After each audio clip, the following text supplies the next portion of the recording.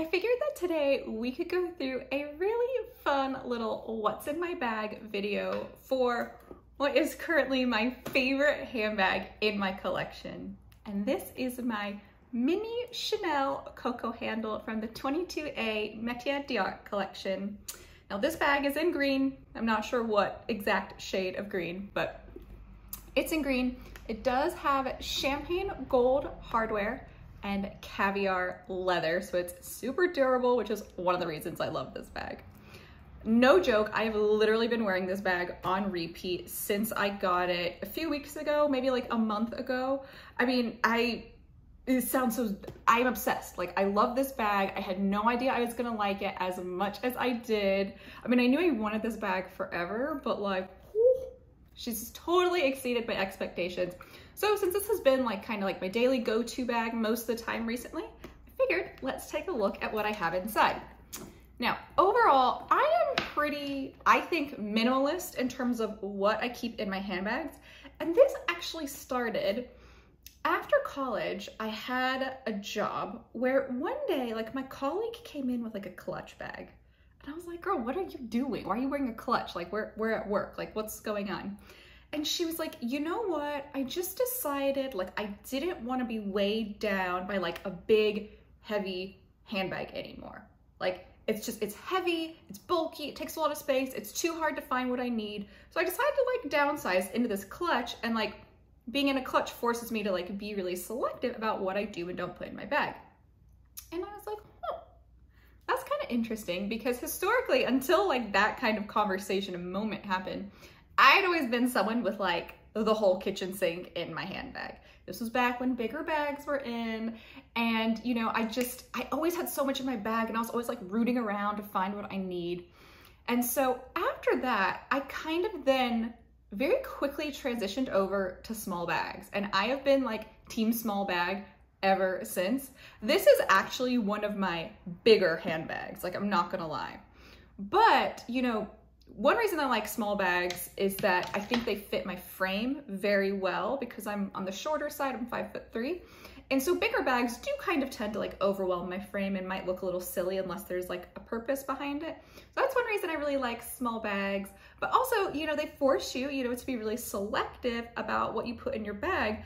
So I would say that this bag actually probably has like the most stuff in it that probably any handbag of mine will ever have in it. Cause this is like a pretty big handbag for me, which I know is probably laughable to a lot of you all. This is probably like a tiny bag to a lot of you all, but this is one of my bigger bags. So let's take a look at what I have inside.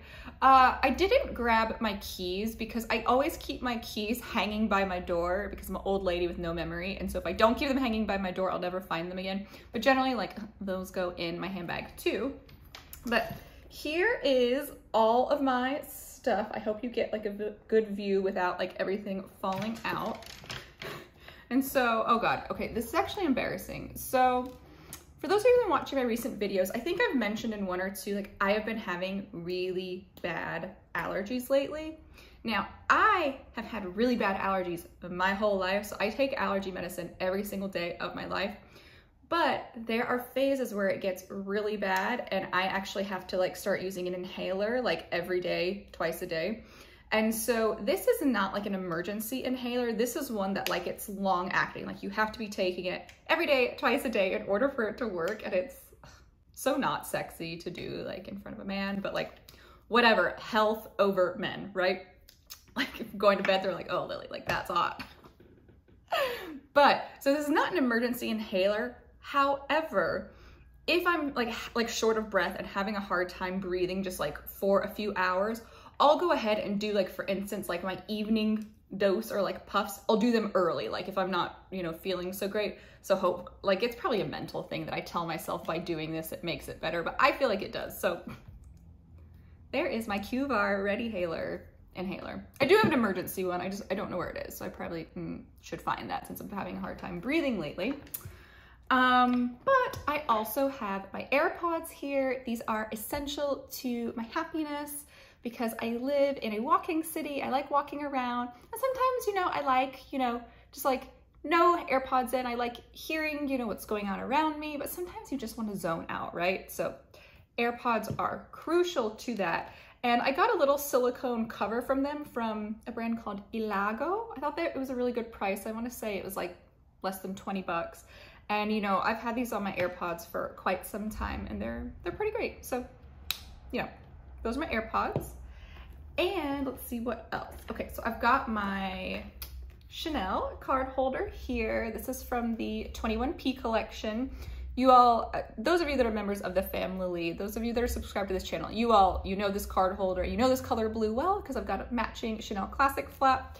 But even in terms of my card holder, like I keep it pretty minimalistic. You can see I only bring like two credit cards, a debit card, and then also I do have, you know, my ID. I'm not gonna show you, but I keep my ID on this side, my three cards on this side, and then inside, I've got, you know, I've got like a little bit of cash, got my uh, health insurance card, and I think I've got like a couple frequent shopper cards. Yeah, this is embarrassing.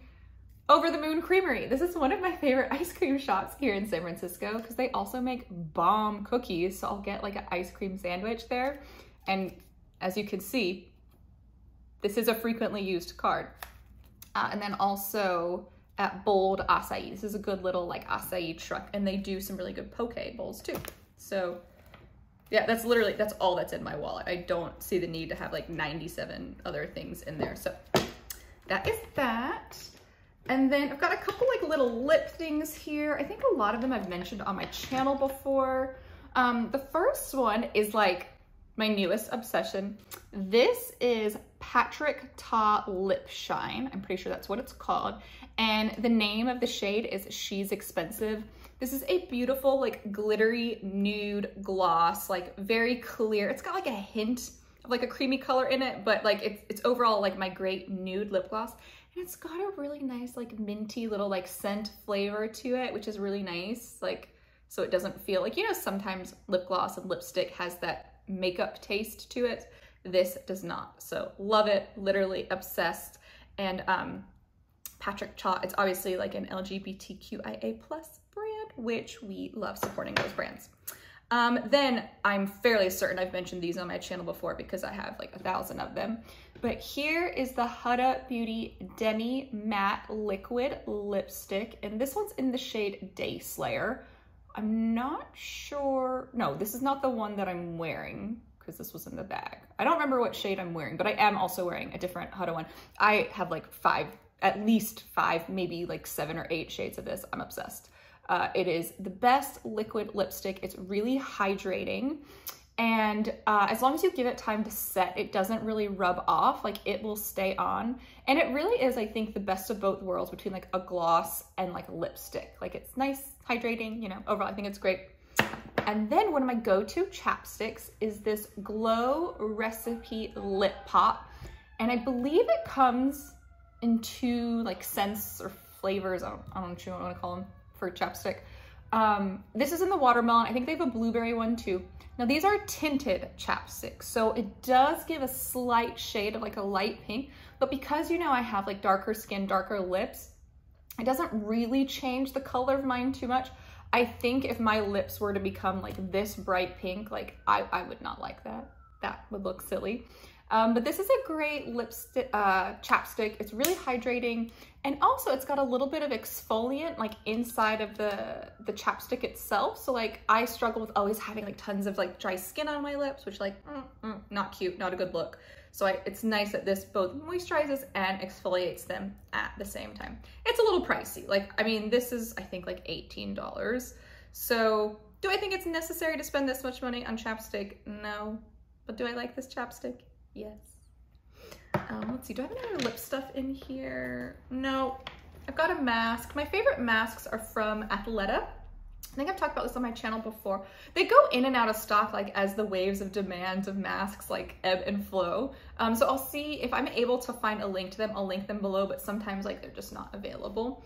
Um, but I think they're great. They're very like breathable, but I still feel like protected in them. And I like that they've got like nice solid colors, like, you know, in neutral tones, which I love. So that is, you know, my mask. And then I've got a hair, little hair comb for my hair. Nothing too descriptive. I think this is like the brand Goody, so it's quite cheap. Um, I buy these like in little packs of like, I think generally the, the pack has like 10 or 12 different size and color shapes of combs. And you know, that pack will last me like a few years. So I think you can probably see on here, there's a little bit of dry shampoo because let's be honest, dry shampoo is life. I live by it. And then I know I have mentioned this on my channel before because a couple of you all, like a handful, have left some not so nice comments about my eyebrows down in the comments below, saying that they are too dark, too thick, uh, like whatever. And I'm like, I am Iranian. These are my eyebrows. I'm sorry that you don't like how they look. Unfortunately, like I am not a perfect human. My face is not symmetrical, so my eyebrows are not symmetrical. They're never going to be, unless I like get surgery on my eyebrows. So, you know, th this is what we're working with. And so I was raised in the true Y2K era and like the 90s and you know back in the day all my friends and I the second we started using makeup and tweezing our eyebrows we over tweezed them to the point that I looked permanently surprised so for those of you that think that that's a cute look and you all are trying to channel like your inner Bella Hadid and like over tweeze your eyebrows let me just tell you don't do it because you're gonna be like me and you're gonna be left with little holes throughout your eyebrows for the rest of your life because they will not grow back after a certain point like your body will revolt against all the tweezing that you are doing. So you'll have to be like me and pencil in your eyebrows. So I use this, it's called the Precisely My Brow Pencil from Benefit, and it's in the shade 4.5. The makeup lady there told me that I was a shade five, which is like black. My hair is actually like dark brown. I actually think maybe I should try like a, a shade four, go a little lighter and see, but you know, for all intensive purposes, I use shade 4.5. So the reason this is in my bag is because since I pencil in my eyebrows, you know, if I get a little sweaty or if I accidentally like wipe a brow, if a little bit of my eyebrow gets erased, I would like to be able to fill it back in. So generally speaking, if I've got a purse with me, chances are I will have a, an eyebrow pencil in there. And then, oh, hmm, this shows you how not classy I am. Well, I don't know, whatever. So skincare, sunscreen, very important. Generally, I like to bring like a little mini bottle of sunscreen with me. And so a lot of times I will get the sample sizes of the Goop sunscreen or there's like a Fenty, um, it's like a moisturizer and like SPF 30 sunscreen all in one. Both of those are amazing. I guess I must have used up my last one because now I'm using like my drugstore banana boat one. But listen, some sunscreen is better than no sunscreen. So not everything in life can be fancy, right?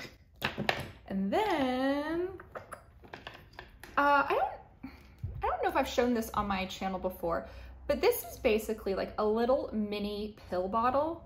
It's kind of weird that it's in the shape of a pill, which kind of feels like, mm, looks like drugs, but like there's just like a medication I take every day.